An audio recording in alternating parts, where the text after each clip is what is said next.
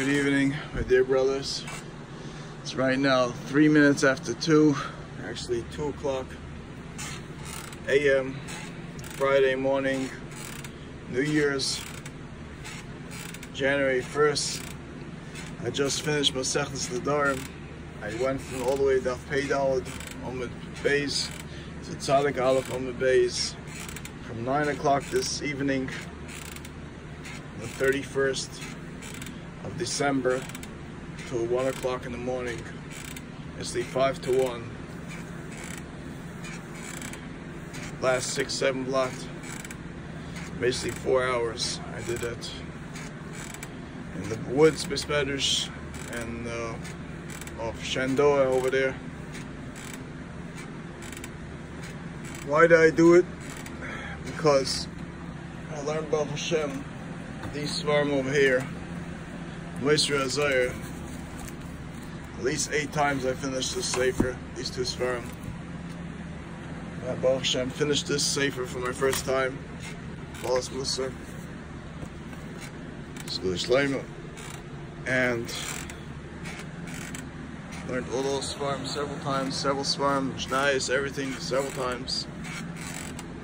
And I do always do it loyal nishmas for several neshamas as I finished the Masechta. But what happened was, recently I saw a Mara this evening of a certain, since I learned the Zohar several times here, and the brings down that a person says the Devar Torah by Shabbos table, or says over the Devar Torah for someone in the past, so that Neshama and Shemayim they put kasroinus on him and they menashik him, they cheer him up for saying such a nice Torah that's said over and on this world. Besides for that, his lips move over in his in his in his kever and they say over the Vartayrs as he's as you say b'shem him. That's what the Zohar Kodesh brings down.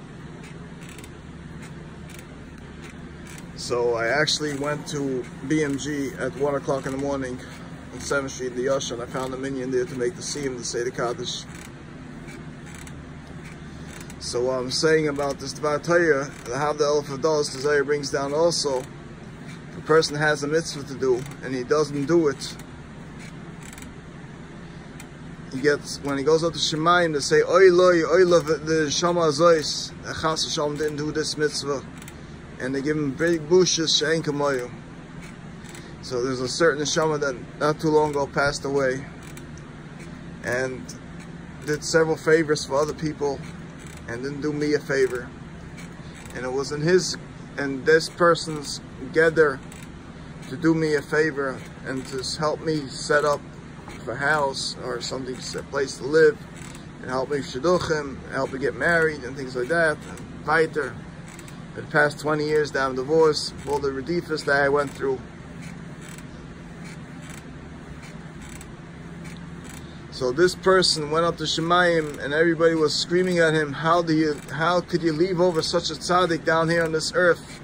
So Masmit, and was in your hands to either buy a house or to help and this and that. And he ends up living in an office and he's sleeping. He's becoming that Mishnah day and night, learning Yigisa Yom Malayla. And how could you how could you come up to Shemayim and leaving such a person on the earth in such a such a place? And they're giving this person big busha shank They're not letting him have any menuchas. This is Shama and Shemayim menucha. So just as it's brought down this week's Pasha Pasha Veichia said this over by the Siyam that when Yaakovina passed away, the Shvatim came to Yosef and asked him, Ana Sana Pesha Chata come and take back our chet that we did to you, that we bought you down, we, we sold you as a slave, and this and that. And sin, the Musasvarm and the Gemara bring down that since Yosef didn't say, Machalach, Machalach, Machalach, and instead said, what do you think? Hashem sent me lemechia. You, you are, you thought the raw. Hashem made good. I did look what to hold, to hold up such a big nation today. He should have said machalach, machalach, machalach. They wouldn't have to go to Golis. But since he didn't say machalach, machalach, machalach, they ended up going to Golis. Klal Yisrael ended up going to Golis. That's what the Silas Sharm supposed to Svarim say, and the Gemara says as well. So I made sure to be Meichel this Neshama and Shemayim that she should be rest in peace. Not only that, I gave her credit for my learning, gave this person credit for my learning, and credit for the Sefer that I just finished in Kabbalah as well. That she should be able, this person should be able to sit in Shemayim and rest in peace, even though she has, this person has all the embarrassment of, uh, of not helping me out by settling me down, marrying me off, and give me a place to stay. I ended up staying in an office like this and living like this in the office and start stri striving a Torah away. So I was totally moichel that person. I'm not gonna say the person's name because Achar Bisasim, the, the, the Lashon Hara is even greater, like it's brought down the Torah brings down very carefully in Parshas, Parshas of the the, the, the, the two, two, sons of Aaron when they died. The Torah does not mention which sons they are. It says Achar Moshe Doesn't say who. Because because what? Because why does the lima from that pasuk is basically that lashon hara after a person's death is even worse.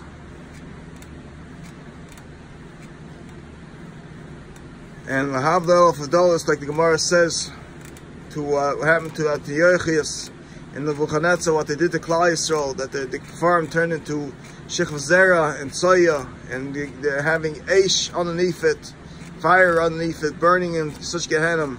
Lahavdal Fadolis, what's going to happen to those people that made me end up in this situation, like the Lakewood Scoop, people from the Lakewood Scoop and when Farsim made me lose my job, made me lose my Manasa, what's going to happen to them?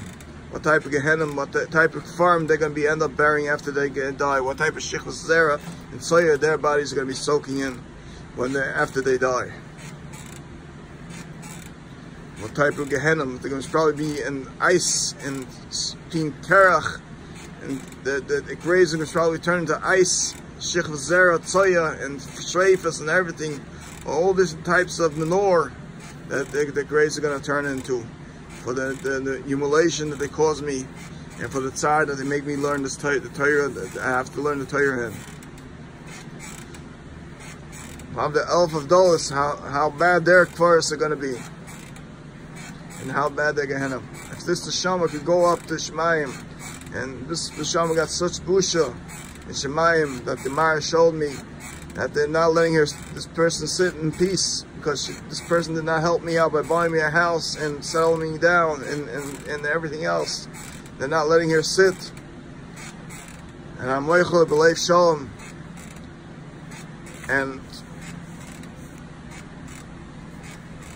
comparison that she's getting, this person is getting in Shemayim. And I give her the credit of my learning. I share the credit not only of this person, I give the credit of my learning and the credit I just finished this Kabbalah Sefer and learned Zohar several times.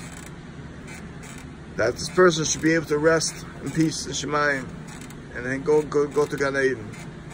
And I'm Merchalach, Merchalach, Merchalach that she should be able to go into Shemayim and to Gan Eden.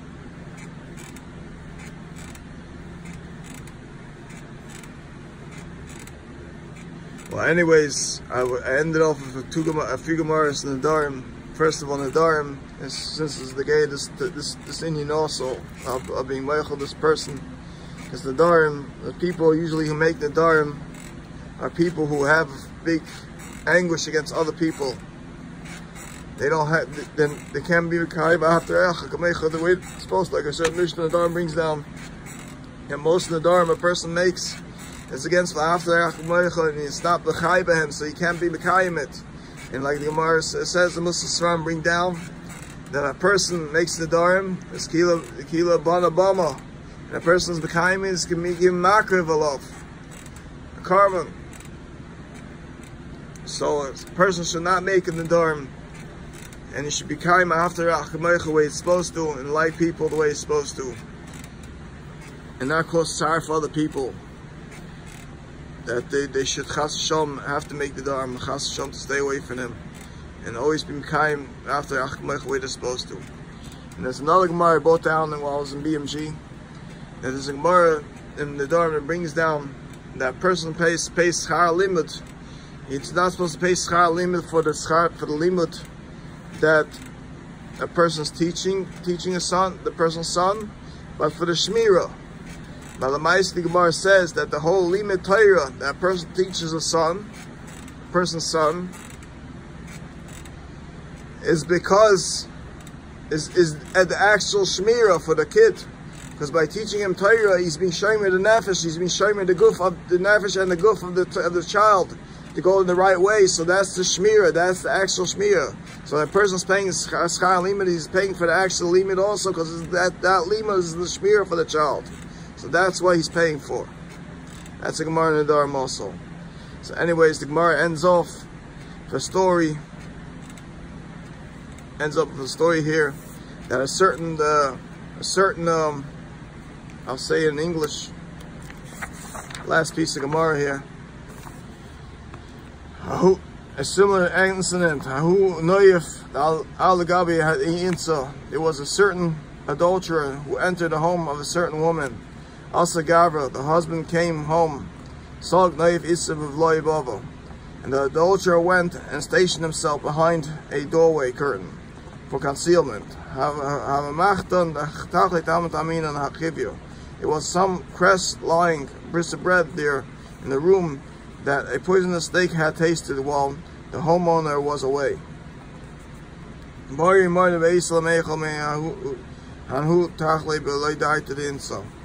And the homeowner wanted to eat some of that cress without his wife's knowledge. If the adulterer said to him from his place of concealment, Do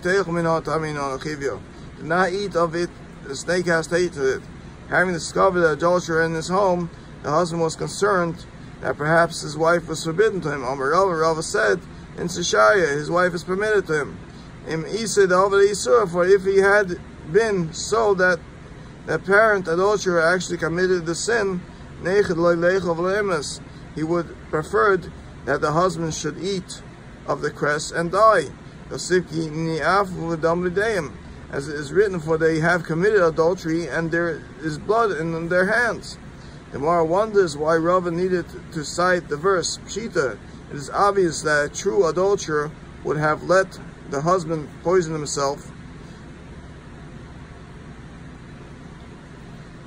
the answers Maldatema Yisura Avad, you may have said that the apparent adulterer did actually commit the sin of adultery, and that the reason that he told the husband not to eat the poison in the cress is the that he prefers that the husband not die to have an insi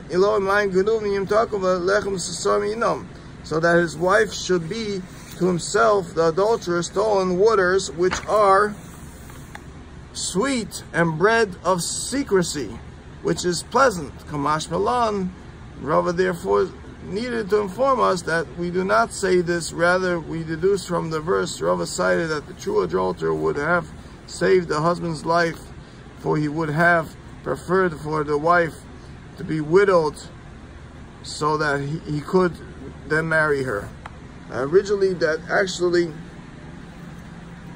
would rather meant to say that that he would rather that Rava, Rava the Gemara passed, passing like Rava, that rather that a person would rather the, the husband die, that he could stay, he could marry the, the wife than rather have it, have his stolen waters. So that's uh, the end of the Gemara. So I didn't I didn't finish the Gemara the way I was supposed to. I happened to be very tired and I had to finish the seven blood to be finished the Masechta for this person's Shama that she should be able to rest in peace and people should, should, should let her have the schus of my learning Torah to put to put this person's place in a nice place in Shemayim. And the fact that this person is not is not a fault fully for what this person couldn't support me and make sure that I should be in a place where I'm supposed to be in a nice nice home It was those those redifus of the people that eventually going to end up and worse than manure in their graves and worse than than Zera in their graves who ran after me and made me in such a situation that I have to live like this. Those are going to be your fault. And this person should, should have full mechila and shemayim and be able to rest in peace, even though this person did not buy me a house, did not buy me, did not make sure I got married off again, and and this person should have full mechila and be able to rest in peace in Shemayim. So, I, to all my brothers and cousins and friends, I like to share this Masechtas with you as well. As you have a schus and learning and chazaka and learn more and steig well. We should all steig together and eventually help each other out, places to live, and you know, and look what's good. To see the malice of our friends and help them out and support them, that they should be supportive and eventually have where to live and have food and everything, and they do a chesed. Not to say the chesed is chas v'shalom midas like Nebuch, what a lot of people think when a person does a chesed, they think, oh, he's trying to have uh, relationships with me. That's what the chesed, the midas is. No, we do chesed because we like each other. We have it to each other. And if a person doesn't understand it, then eventually they, they get, that's why we're suffering. The corona and all the hurricanes and tornadoes. This is midas and Midas Samabo or pe pe people like that. That they only did chesed to people to, to have to adultery and to do uh, terrible things. And not to do chesed stamazoi. Stam to show Yisrael. But that's why we're suffering these days. Kol to my dear brothers. Have a great and wonderful evening and have a happy new year. And we should have a good year. Kol to bye bye.